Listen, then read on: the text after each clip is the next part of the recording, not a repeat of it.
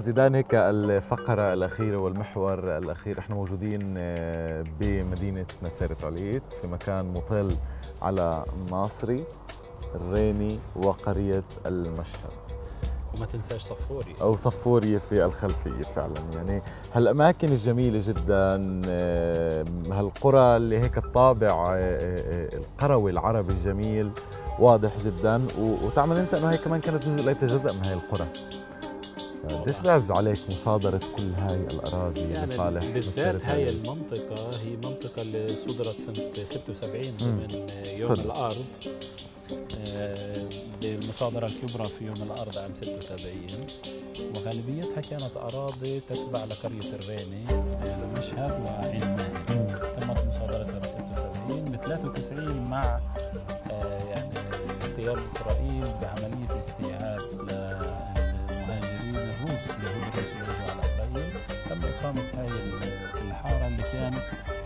جزء من المخطط أنها تكون مدينة 30000 للهدف المعلن كان بشكل واضح هو تغيير الديموغرافيا. كمان مره موضوع إنه تصادر الأرض يبنى عليها مساكن لاستيعاب آه، آه، مهاجرين الروس قادمين من روسيا والمواطن الفلسطيني صاحب الأرض يصبح غريب. هو غريب. وغير مرحب فيه حتى صحيح. للانتقال أو للاستفادة اليوم كمؤسسات حقوقية تحدثنا عن وصول القضايا من خلال مؤسسة العربيه لحقوق الانسان وغيرها من المؤسسات الحقوقية إلى المحافل الدولية. هذه القضايا تصل إلى المحافل صحيح. الدولية، قضايا مصادرة الأراضي وقضايا قضايا العنصرية ضد المواطن الفلسطيني بداية لأي مدى هناك اهتمام من المجتمع الدولي بهي القضايا؟ ولأي مدى هناك اهتمام بمتابعة هاي الملفات؟ يعني موضوع موضوع حقوق الإنسان بالنسبة للفلسطينيين بالداخل هو موضوع كمان مش طويل المدى. يعني آه، بسنوات التسعين بدأنا أول مرة. يعني في الأربعة وتسعين اكتشفنا أن هناك لجنة لمنع التمييز وأن إسرائيل توقع وتقدم تقارير ولا يوجد أي رقيب على هذه التقارير. بدأنا بال 96 يعني المؤسسة العربية لحقوق الإنسان كانت أول جمعية آه، عملت تقارير بديلة لتقارير إسرائيل وقدمت للأمم المتحدة. منذ نقول 93 94 إلى الآن تقريبا الكثير من الجمعيات تعمل هذا العمل الدولي. لأن العمل الدولي هو آه، لم يحصل في تاريخ أي شعب أن العمل الدولي أدى إلى تغيير واقع. يعني القضية الفلسطينية ككل والاحتلال هناك أدوات دولية كبيرة لم تنجز هذا التحرير أو لم تنجز إنهاء الاحتلال. إذا العمل الدولي وأنا هون يعني عندي بعض النقد للمبالغة أحيانا بالحديث عن نجاعة أداة معينة وكأنها هي الخلاص. يعني البعض يقول نذهب إلى البرلمان وهذا خلاص ولا يوجد أي بديل آخر. لدرجة أنه لا نفكر ببدائل أخرى. نذهب إلى المحاكم. هذا هو القضاء وهذا هو الشيء الوحيد. أو الآن في موديل توجه للمؤسسات الدولية وكأنه هذا سيخلص. أعتقد بأنه هناك ضرورة لدمج وتوازن في كل هذه الأدوات لأنه لا أعتقد لم يحصل في تاريخ أي شعب حتى جنوب أفريقيا لما نتحدث عن إنهاء الأبارتهايد والضغط الدولي والمقاطعة هو لم يكن السبب الوحيد. السبب الأساسي هو النضال الذي كان على أرض الواقع وما قام به آه، أهل جنوب أفريقيا. اذا النضال الجماهيري هو الأساس. النضال القانوني البرلماني والدولي هو آه، آه، أدوات مساعدة ومحفزة لزيادة التضامن وزيادة الضغط من أجل التغيير. دعنا ندخل في قضية النضال الجماهيري، يعني آه، النضال الجماهيري الفلسطيني جميعنا ندركه وجميع وجميعنا نعلم صحيح. أهمية النضال. هل تعتقد إنه بال 15 أو ال 20 سنة الأخيرة بدأنا نشعر ب ما بدي أحكي تبخر يمكن عشان ما أظلم ولكن بتقلص إيه، النضال يعني الجماهيري تقلص المشاركة الجماهيرية في النضال. إذا كان الحديث عن حتى عن الفلسطينيين بشكل عام ليس فقط الفلسطينيين في الفلسطيني بشكل عام. يعني هناك عملية أعتقد تقصير كبير في إعطاء النضال الجماهيري المركزي أعتقد في أي نضال وزنه في عمل الجمعيات في عمل الأحزاب وفي عمل الأطراف اللي تعمل مع هذا هذا المجتمع. واللي أعتقد خلق جيل يعتقد بأنه هذا آخر شيء بالإضافة إلى أنه عدم التركيز على التحشيد الجماهيري والعمل مع الشباب. يعني بالنسبة لنا بالمؤسسة العربية لحقوق الإنسان أنجزنا الكثير من التقارير من العمل الدولي آه، الأمم المتحدة الاتحاد الأوروبي منذ أكثر من 20 سنة يعني نعمل بهذا المجال. وأنجزنا الكثير ولكن أعتقد الأهم هو العمل مع الشباب هو العمل مع المجتمع. لأنه أعتقد تحصين المجتمع وت يعني تجييش المجتمع بمفهوم أن يكون المجتمع واعيا لحقوقه وأيضا جاهزا للدفاع عنها لأنه مهم. هذا هو الأساس. مهم جدا يعني اللي عم تحكي فيه أستاذ محمد ولكن لو سمحت فادي خاصة في ظل جهاز قضائي عنصري في جل في ظل وزارات عنصرية في ظل آه، ممارسات جماهيرية عنصرية رأي عام عنصري. اذا ماذا يمكن يعني أن نعمل ضمن هذه الأجهزة؟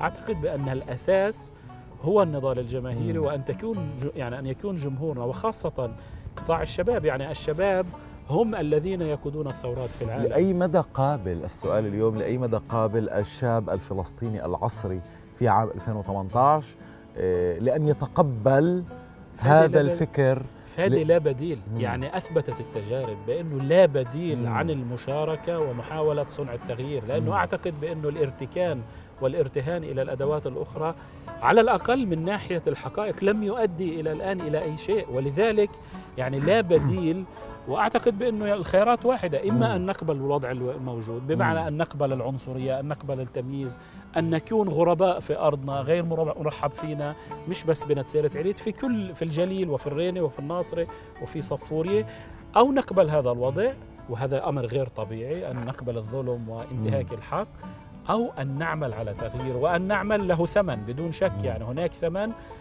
لا توجد جهوزية أعتقد جماهيرية لتحمل هذا الثمن وهذا ذنبنا.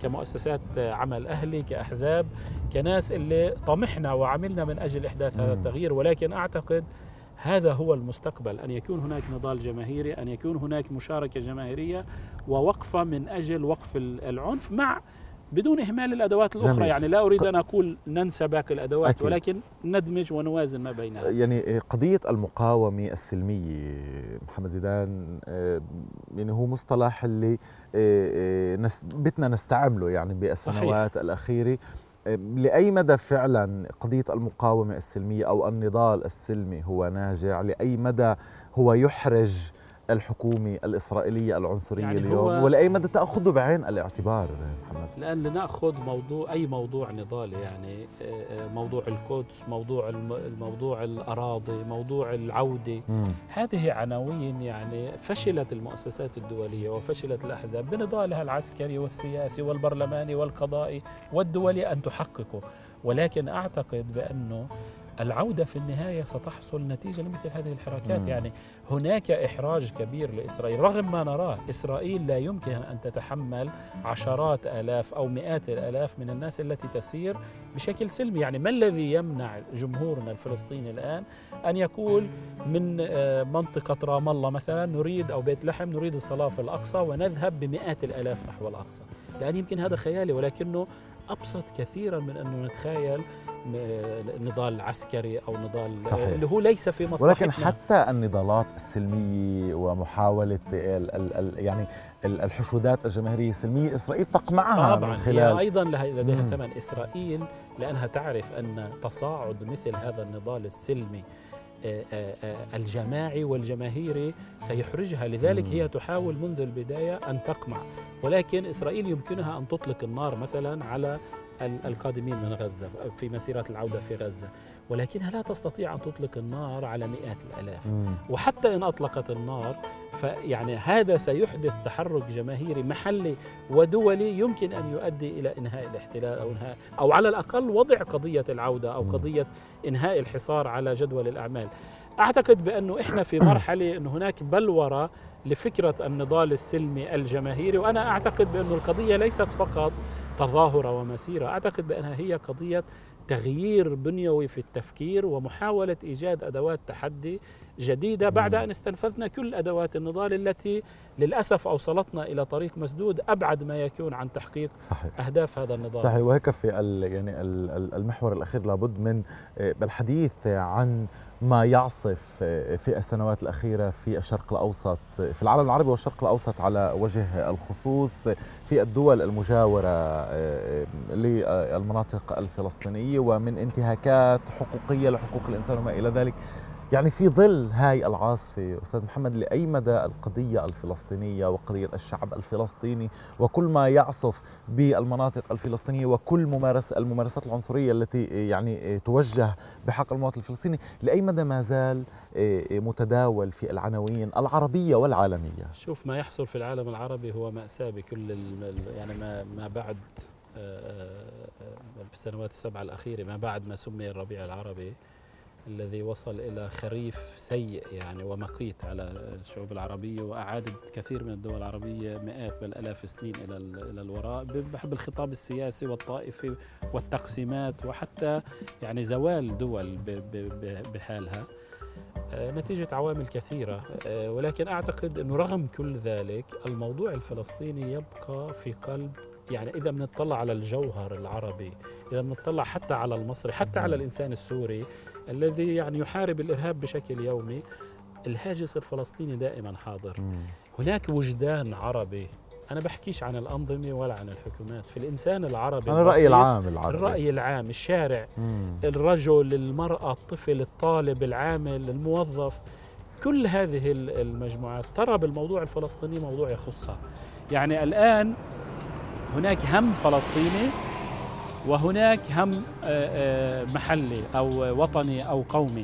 ولكن حتى في ليبيا اللي تعاني إرهاب في كل يعني تقسم الدولة وزوال مؤسسات الدولة تقريبا الموضوع الف... يعني يكفي أن تكون فلسطيني لتشعر بأنك في بيتك صحيح. آه، في القاهرة في المغرب في الجزائر الموضوع الفلسطيني نتيجة لعوامل كثيرة بقي هو الموضوع أو من المواضيع المركزية لدرجة أن لا يمكن لإنسان أن يقول أنا يساري أو تقدمي أو ثوري ليس فقط في العالم في العالم العربي بل بالعالم العالم. كله يعني أن تذهب الآن إلى كوبا وترى ناس يعني يعلقون الحطات الفلسطينية أن تذهب إلى أي دولة حتى في أمريكا نفسها أنا التقيت مع أشخاص اللي هن يساريين وعلمانيين ومناضلين من أجل الحق والعدالة لا يمكن أن تناصر العدالة بدون أن تناصر قضية. فلسطين وهذه رساله ليس فقط للفلسطينيين وإنما يعني العالم العربي بل للعالم صحيح. كله صحيح على أمل يعني, يعني هذا الوجدان العالمي من أجل. الحق وضد الظلم اللي تجسد قضية فلسطين منذ 48 إلى الآن صحيح على أمل هيك أن يعني